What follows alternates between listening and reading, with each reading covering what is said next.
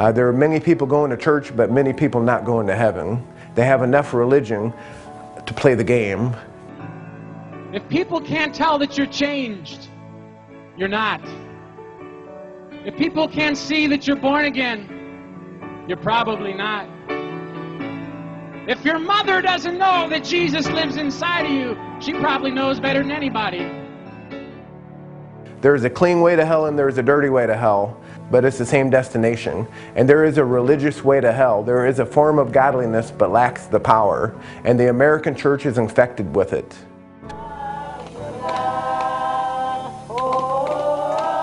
My name is Trevor Johnson. The Lord has called me, He has saved me, and I serve a remote tribal group in Indonesia.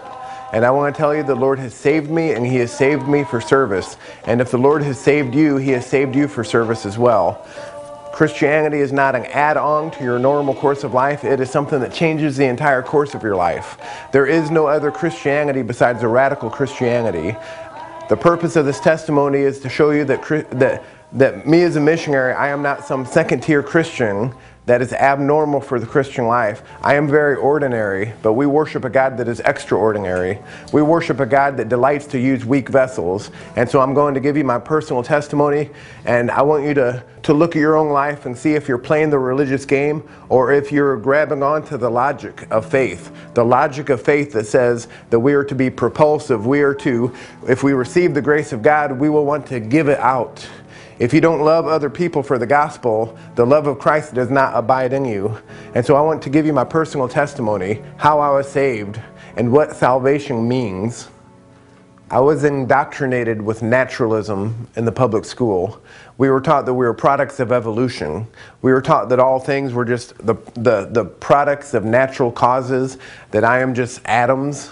The atoms in the void are the only things in existence. But why is it that I love? Why is it that I believe in immaterial things such as honor, such as love. Uh, those things are non material, and yet I know that those things exist. The worldview that we're being taught has no answers, it gives us no hope, it takes us to despair. It makes Nazi Germany not evil, just inconvenient to a certain segment of the population. But I saw, I knew that there was real evil in the world and seeing the real evil in the world, there had to be a perfect good reference point so that I knew what evil was. I knew that there was evil, I knew that there was good. My conscience spoke to me. I knew that there was a God, but I did not know where to turn. I turned to the American churches and I was sorely betrayed. I sought the truth of Christ in the American churches and I was sorely disappointed. I heard about the wealth and prosperity gospel. I heard about uh, the seven vials, the seven trumpets, uh, the sensational uh, Left Behind theology, uh, but I did not hear about the gospel of Christ. I was searching for the truth, but I was sorely disappointed. Many of the pastors I went to did not know the truth, and I want to beg you that, that if you are seeking the truth, don't be content to stay in a sick church. Don't be content to stay in a church that is not preaching the gospel. That mankind is totally lost, that we are saved totally by grace, that the, the Lord Jesus Christ is Lord of all. Uh, don't be content to stay in a place. Uh, don't be content for a form of religiosity that lacks any power. Don't be content to be caught up in all the trappings of religion, but miss Christ. I had a preacher tell me it's as simple as choosing you want to go to heaven or you want to go to hell. What idiot wouldn't choose heaven. But the choice is not heaven or hell. The choice is the beauty of Christ or your sin. And I would pray like, like St. Augustine would Lord, make me pure, but not yet. Lord, make me chaste, but not yet. So the choice is not just a simple choice between heaven or hell. It's do you see Christ as lovely? Do you see Christ as all glorious? Do you see the beauty of the gospel and the beauty of Christ? Do you see your own unworthiness? It's not a choice between heaven or hell. It's a choice between Jesus Christ and everything else that competes. Jesus Christ and your sin. Jesus Christ and all other competing interests. We must live for Christ. We must die for Christ. And everything in our life is to glorify Christ because he has died for us. He has given himself for us. And we can't, we can't even give him more than an hour or two on a Sunday morning. uh, for his service. And then, even then, we think that we have merited ourselves before God because of that. We think that by our performance, uh, we have attained to some standard of, of acceptability before God. But even our righteousness is as filthy rags. There's enough sin in our prayers to condemn us to hell. And yet, God is pleased to hear me because I'm his child. He has given me the new birth. God is pleased to hear me because he is my father and he has accepted me for Christ's sake. And God has been pleased to put me into service. And it's a joy that I be able to follow him, that I be able to serve him, that I be able to suffer for him. And I want to see others be adopted into the family of God as well. And I worship a God that delights to save. He delighted to save me, and he delights, he will delight to save some from every tongue, tribe, and nation. There is nobody too bad for God. There is nobody too unworthy to be saved. There is nobody that has blown it. Uh, while there is still time, there is still hope. While there is still life, there is hope of salvation. And if the Lord Jesus Christ has saved you, He has saved you to become a blessing. He has blessed you to be a blessing. He has saved you for service. And if He can serve someone such as me, he, if He can serve someone that that stumbles so very often, a very average person, he can, he, he can use you uh, in his service as well. He can use you to glorify his mercy. He can use you as a, as a vessel of mercy. And, and my hope is that when people see my life, my hope is that when people see me, they see that God has abundantly poured out his grace upon me, that it is not due to anything within myself, but only to the grace of God. And I am a walking example of the mercy of God, a light in this lost and fallen world. And my desire is to minister that light, is to, to show that light to others. And I praise God that He has been able to do that, even despite my weakness. Uh, come sharing these joys with me. Come sharing the joy of service. If I fail in everything else in this testimony, the two key points I want to I want to tell you is this: that I am not some second-tier Christians. I am I am very imperfect in many ways. I trust that that the Lord will perfect me uh, once I die, and and and I will go to that place where the spirits of just men are made perfect. Uh, but I abide here below uh, as a very weak creature, but the Lord is pleased to use me anyway. And one, one thing I want to, to tell you is that the Lord is pleased to use weak vessels because there are no other kind. The Lord is pleased to pour out the gold of His grace uh, through vessels of clay.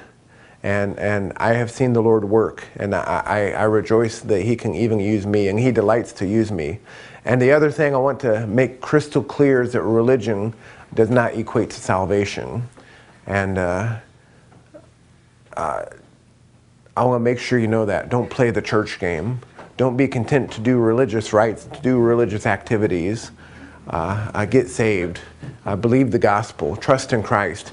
Uh, you have nothing to merit you before God. You are totally unworthy. Even your repentance and faith can be tur- turned into a works-based salvation, trying to measure some sort of some sort of level of acceptability for your works towards God. There is nothing that you can do to merit yourself before Christ. Trust in the grace of Christ. Don't trust in your religious rites, your activities. It's not so much religion that saves, it's the relationship with Jesus Christ. We are adopted in the family of God. I am made right because of my relationship with Jesus Christ. It is not some set of doctrines that I believe in, it is a relationship. I am a son of God. God is my father. I have been adopted, uh, and my identity is a child of God.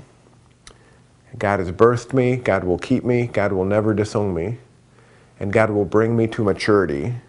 And I desire to, to walk in the footsteps of my Father. I desire to honor my Father uh, by service, not so that I can be inducted into his family, but because I am, and because I want to, I want to live in the manner that the, my Father has taught me.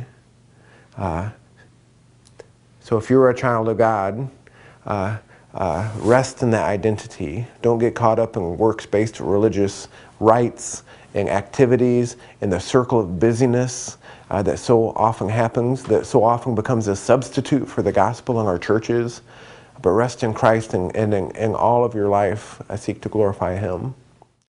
If you're just a member of a church and you think that that commends you to God, uh, allow me to shake you up. Allow me to to make you uncomfortable. I don't. And forgive me if I sound negative. Uh, but don't let your works substitute for the gospel. I've seen it happen in churches. These churches inoculated me against the gospel. These churches were an immunization against Christ. And I had enough church to ease my conscience. Uh, uh, I was desensitized to the gospel. Um, I began to think that, that because I wasn't as bad as somebody else, um, I wasn't bad before God. Uh, but this is not a comparison. God's bar is perfect, and we all fall short. I love Christ and I want to see my Jesus proclaimed into every nation on the world because he has been good to me.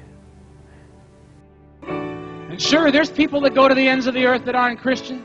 In fact, the Mormon church sends their young people for two years out of their lives to the mission field. Every single Mormon youngster goes for two years to the mission field. How come we can't even match that? How come we can't send our young people for six months? How come it's a special breed? But you're going, Keith, what about the lost in America? What about the lost in America? Hey, don't worry. If God makes it clear to you to go, which I think He already has to many of you this weekend, there'll always be enough people who won't obey the call to stay around and and witness here. Don't worry. You're going, but Keith, I need to keep my secular job and keep sending my 50 bucks a month to World Vision. If I don't, who will? Don't worry. There'll always be enough people around that won't obey the call that'll send a check rather than their bodies as living sacrifices. There'll always be enough people. Now, I'm not saying everybody who doesn't go is disobedient.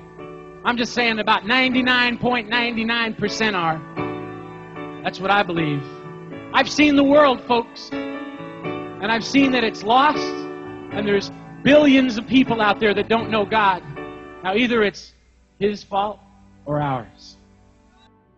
If God is calling you, God will nurture godly desires. So I say, be ambitious for the Lord. I say, set spiritual goals, set spiritual ambitions, and pray. Be bold in what you want to do for the Lord.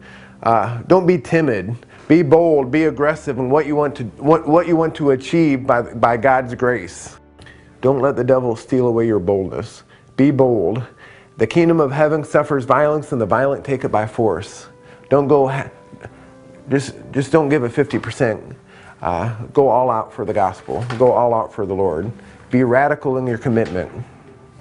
When, when, Hernando's, when Hernando Cortez, he came to the New World, he burned all of his ships behind him before he marched forward. Christians ought to burn all their ships behind them. There should be nothing left behind. We should not flee Sodom and look back. Once we put our hands to the plow, we go forward. We are ready to die in the line of service. I fear failure more than I fear sickness or death. The average people who serve an extraordinary God, the Lord can bless their labor not because of us, but because of the grace of God.